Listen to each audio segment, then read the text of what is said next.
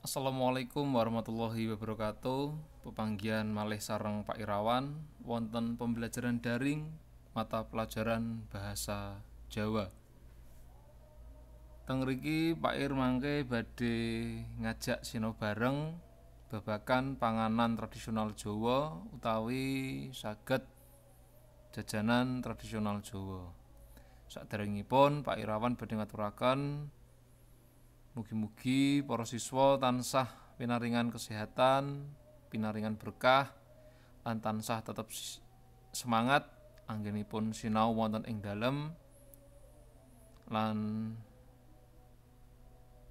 boten pareng keluyuran ditunda rumiyin keluyuranipun lan tansah njaga karsian ugi kesehatan. Langsung kemawon uh, teng mriki badhe mbikak file saking kelas sedasa IPS kalih. menika sampun wonten pitakenan ngingingi panganan utawa jajanan tradisional ingkang sampun dipun kirim lumantar via WhatsApp. Ingkang sepisan menika uh, saderengipun Pak Irawan Bika uh, Mbok menawi mangke wonten pinten-pinten siswa kang ginakake bahasa Indonesia. Menika mboten dados menapa. Amargi teng mriki sarang-sarang sinau sarang-sarang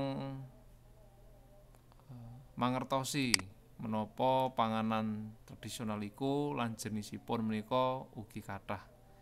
Dados para siswa tansah nggatekake kang dados pitakonan saking kanca-kancane. Ingkang sepisan Pak Irawan badhe buka nggih menika wonten Ayuni Puspita Melati. Teng mriki ndeskripsiake ngengingi gandos. Langsung kemawon pertanyaan, mengapa saat makan gandos yang masih hangat dan sudah dingin rasanya berbeda? Nggih, matur nuwun. Kalajengaken wonten Bagus Dwi Setiawan. Assalamualaikum. Waalaikumsalam. Deskripsi ngengi tumpeng. Pertanyaan kenapa lauk pauk tumpeng berjumlah tujuh macam? Nggih, matur nuwun. Kalajengaken wonten bintang budaya. Assalamualaikum. Waalaikumsalam. E, teng mriki deskripsiake ngengi dumbek. Pertanyaan, mengapa dumbek cara penyajiannya dibalut dengan daun lontar? Nggih, matur nuwun. Kalajengaken wonten danu teng riki eh, Pak Ir langsung kemawon tumuju niki. Setelah saya cari di internet, kenapa tumpeng dibentuk kerucut? Nggih, intinipun wujud te tumpeng menika kok kerucut kados pundi? Matur nuwun.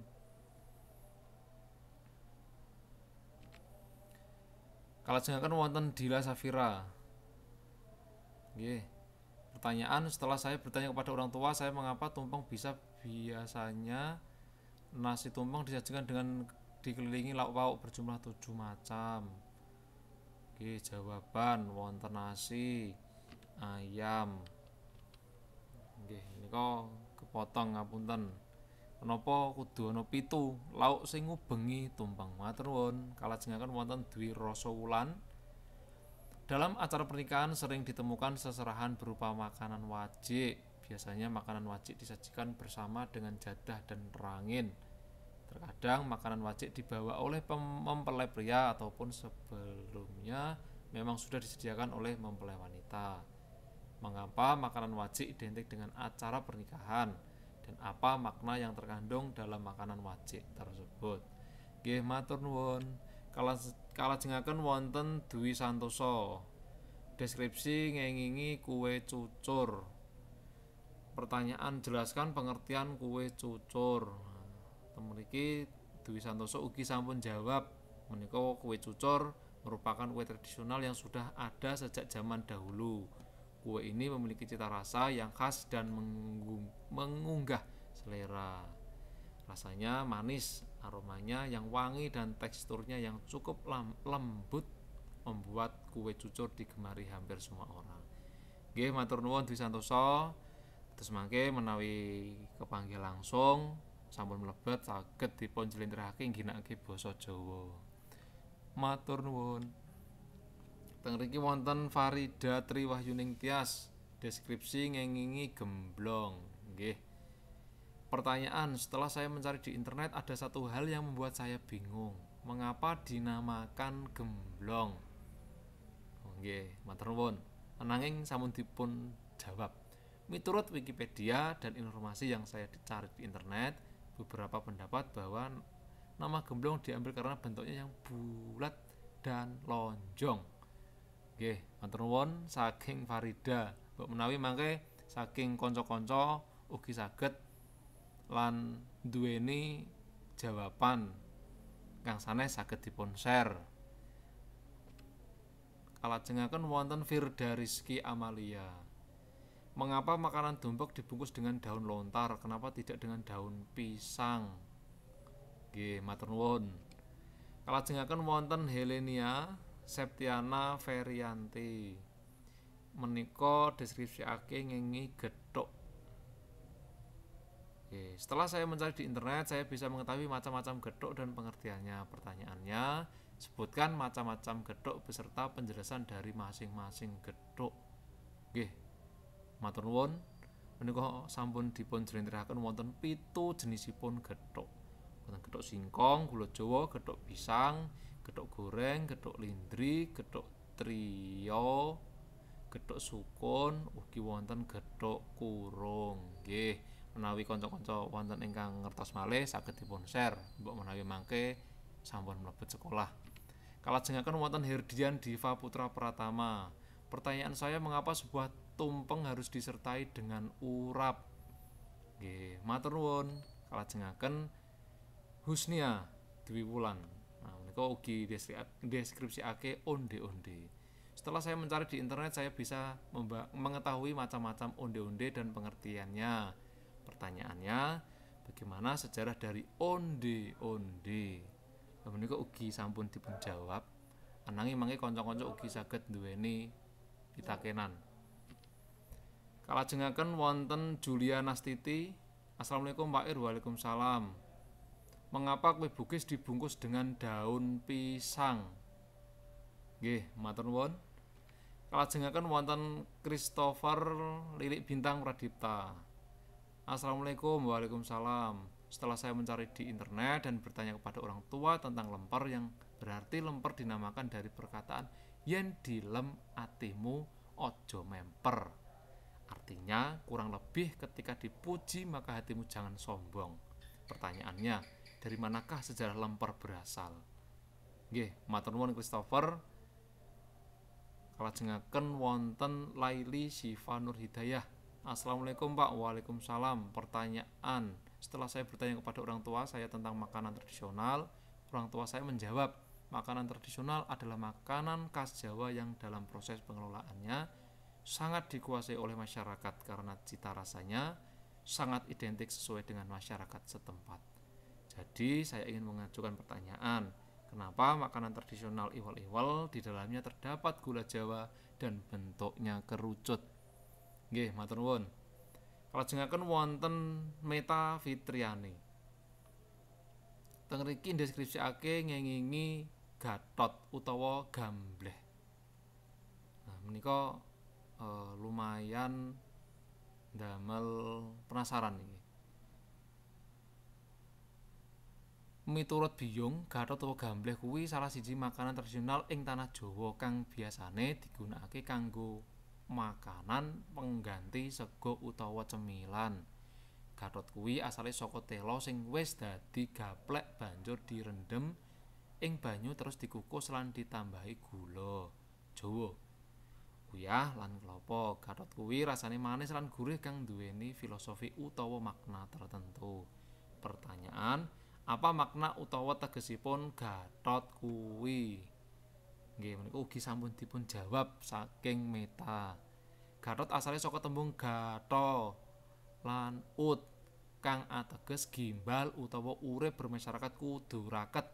Ora gampang dipisahake lan duweni ikatan kang kuat. Menika ugi wonten parian tuku kopi santen asale saka jiken menawi cekap semanten kula nyuwun pangapunten. Nggih matur nuwun kalajengaken wonten Nindi Anadela nggih pitakonane menika mengapa iwel-iwel sering dijumpai pada saat acara selamatan bayi nggih menika ugi dipun jawab Menurut orang Jawa, iwel-iwel berasal dari kata kamiwel yang artinya menggemaskan bayi yang baru lahir biasanya dibuat iwel-iwel agar bayinya sehat, lucu dan menggemaskan. Matur nuwun. Kalajengaken wonten Nur Khalifah. Nggih, pitakenane menika uh, salah sijining panganan tradisional sing digawe saka tepung beras, santen, gula mau dicampur dadi adonan banjur dicetak nganggo wadah bentuk kembang lan diwenehi klapa parutan banjur dikukus utawa didang. Nggih, nah pitakan menika pundi menika? Nggih, mbok menawi uh, putu ayu iku maknane apa? Ngoten, matur nuwun. Kalajengaken wonten prat Dina Assalamualaikum Pak Ir Waalaikumsalam Sakwise Pak Irawan nerangake sawetara bahan babakan panganan tradisional salah siji tumpeng tumpeng dhewe yaiku panganan tradisional sing biasanya arupa sego sing dibentuk kerucut ing sisih pinggir diwenehi sajian kaya ayam endok lan sayuran urap pitakon kenapa sego ing tumpeng dibentuk kerucut nggih matur nuwun Kalajengaken wonten Renata. Assalamualaikum Pak Ir, Waalaikumsalam. Sawise aku takon Ibu, Ibu ngandikan yen Nagosari duweni rong werni yaiku putih lan ijo. Mengapa Nagosari mung ngagem warna putih lan ijo. Kok ora nggunakake werna sakliyane putih lan ijo? Matur nuwun. Kalajengaken wonten Rita Suryani. Assalamualaikum Waalaikumsalam. Pertanyaan mengapa lontong harus berbungkus daun pisang? Nggih. Matur nuwun. Kalajengaken wonten Sinta Dwi Anjani. Menika ngengingi deskripsi gandos. Gandos jajanan khas saking Jawi. Gandos niki salah siji jajanan kang digawe saka glepung beras gandos niki panganan khas nalika ana acara kajatan utawi sedekah bumi takon Nopo gandus dicampur santan, klopo lan uyah. Nggih, matur nuwun. Kalajengaken wonten Sisilia Amara Putri teng mriki mbahas ngengingi apem. Pertanyaan, mengapa apem dibuat dengan rasa manis dan agak asam? Nggih, nggih matur nuwun. Kalajengaken Assalamualaikum Pak Ir Waalaikumsalam wonten Sofiana. Pitaken miturutmu apa filosofi pisang yang terdapat pada Nogosari tersebut? dan mengapa makanan tersebut dinamakan nogosari? Nggih matur nuwun. Kalajengaken wonten tarakamita. Deskripsi ngengingi nogosari. Pertanyaan setelah saya mencari di internet terdapat satu hal yang membuat saya bingung. Mengapa kebanyakan makanan tradisional nogosari selalu dibungkus dengan daun pisang mandhape menika ugi sampun dipun jawab ananging kanca-kanca ugi saged nambahi pitakenan saking Tarakamita menika. Lanjut wonten Du Vita Dwi Cahyani. Assalamualaikum Waalaikumsalam. Pitakone kula, napa kudu endhog godhog sing utuh lan durung dikupas? Ora endhog goreng, dadar utawa ceplok. Nggih menika wonten ing lawuh tumpeng. Wonten malih waris. Assalamualaikum. Waalaikumsalam. Pitakenan. Kenapa ketupat kudu dibungkus godhong? Klopo. Nggih matur nuwun. Nggih eh, kangge PS kalih sampun sedaya ingkang maringi pitakenan. Dados saben siswa tansah kudu nggatekake menapa kang ditakonke para kanca-kancamu kala wau. Lan mangke di pun rembak nalika sampun mlebet sekolah lan saged dipun presentasikake ngginakake basa kang trep kanthi sae. Matur nuwun. Wassalamualaikum warahmatullahi wabarakatuh.